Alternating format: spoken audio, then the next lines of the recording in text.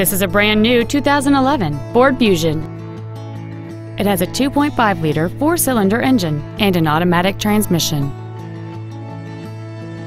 Its top features include a power driver's seat, cruise control, a keyless entry system, a six speaker audio system, a double wishbone independent front suspension, performance tires, 17 inch wheels, traction control and stability control systems, front and rear reading lights, and an anti theft protection system.